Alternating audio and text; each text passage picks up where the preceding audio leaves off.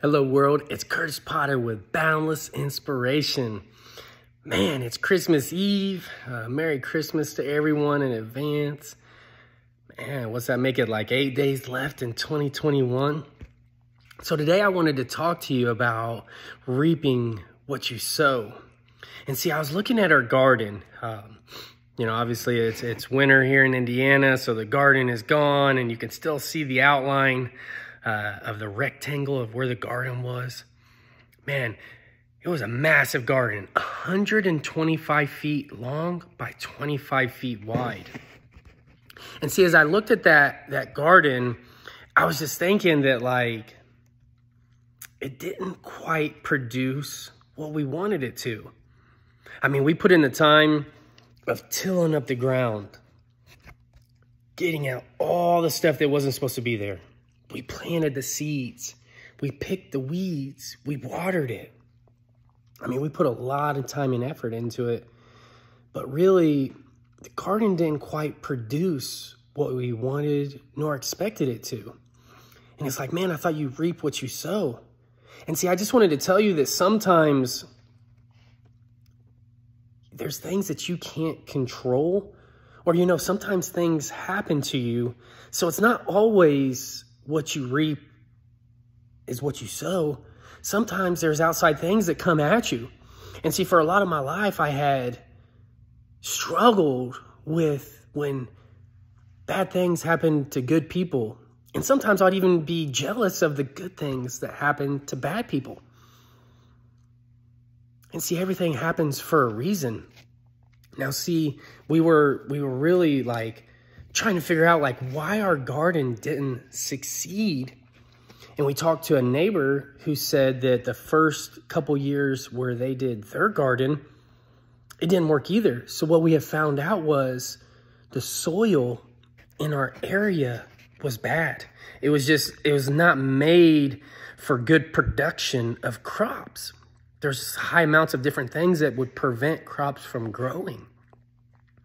So what they did was they um, did some things to enrich the soil where they had planned on planting their garden. And see, it reminded me because see, back when I was a kid, I grew up on 10 acres, and every, um, every other year we would grow corn, and then every other year we would grow soybeans. And the reason behind that was, I don't remember which one, but one of them depleted the soil of the nutrients it needed to grow crops. But the other one whether it was uh, corn or soybeans, actually didn't need as much of that nutrients to grow and prosper, but it would put back, actually, it would put stuff back into the soil versus taking it out. And see, now even if you um, look at fields around, they'll have stuff growing in the winter and you're like, man, they just took down the crops. How's that already growing some stuff? And it's, um, it's called winter clover. And winter clover is not only great for the air, but it also, it's really high enriched and stuff that puts back in the soil to make a good crop for next year. So my question to you is, you know, like, yes, we know that things can happen that's not in our control. But like, what are you intentionally doing to enrich your soil? And what does that mean to me? Like, what are you doing on the inside that is affecting your life? Like, are you getting healing from your in your heart from the things that you're holding in that baggage, maybe of past relationships or past failures? Are you doing things to enrich the soil in your mind?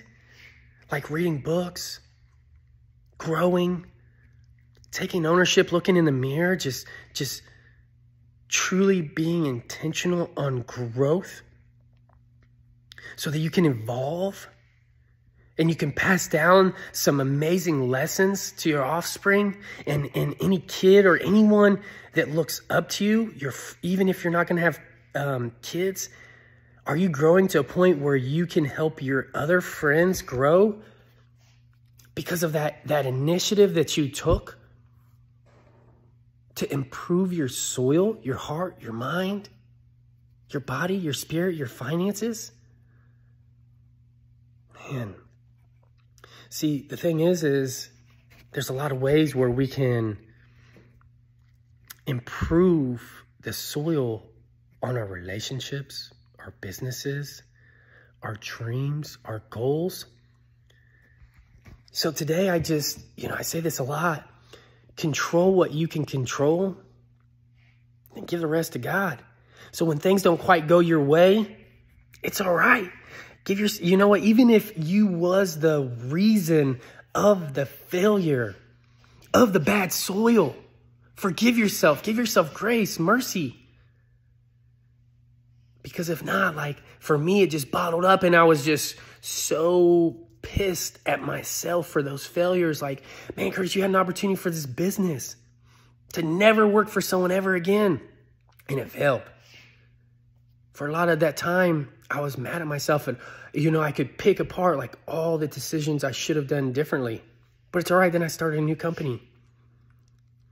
And, you know, even the remodeling I do, this is just a vehicle to get me to my ultimate goal as a business owner is, is doing motivational speaking and having a, a motivational clothing line, like something that not only gives back to the world, but brings me a fulfillment. So like now I'm not even stuck on the construction company that can really pull me from my ultimate calling and dreams and goals, but something that I'm going to go to work every day and say, man, this is like a vacation. I'm getting paid to speak and help people improve their lives.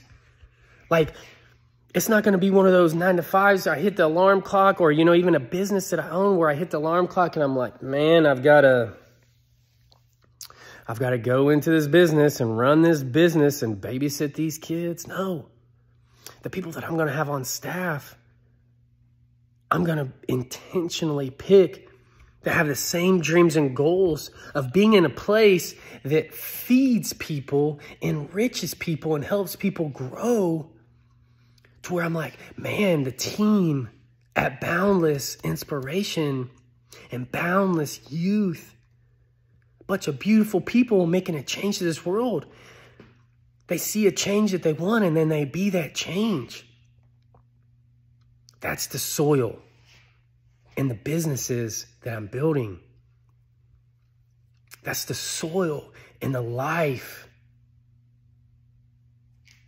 that I'm intentionally putting action into creating. See, a dream in your head is just a dream until you write it down, then it's a goal. And then when you put in the steps that it takes to achieve it, that becomes a plan. And a plan backed by action becomes achievable. A dream achieved, a goal achieved. So as we go into these last couple of days of 2021, you know what we've been focusing on? Look yourself in the mirror. Kurtis, what can I do different? What was those those things that happened for me, not to me, to bless me and make 2022 an amazing year where I'm going to knock it out of the park. Like I'm going to keep this my my gym routine going. So by this time next year, not only just physically how I look, but my health.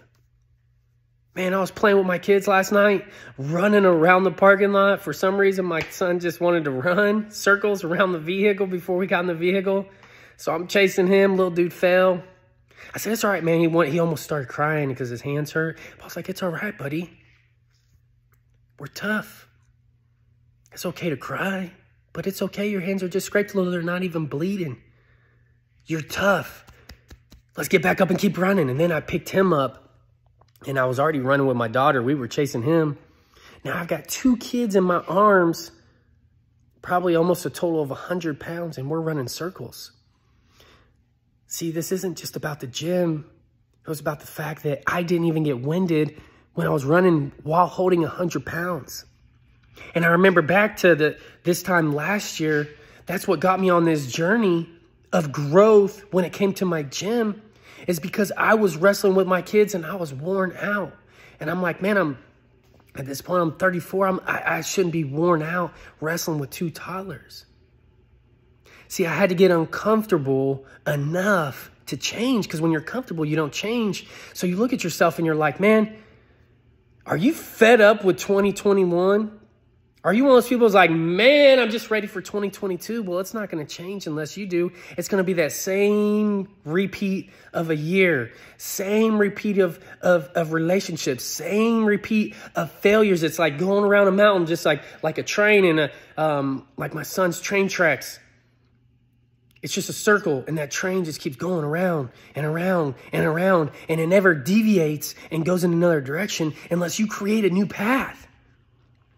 What are you doing to your soil that's creating a new path, new opportunities, opportunities of growth, opportunities to become the boundless version of yourself,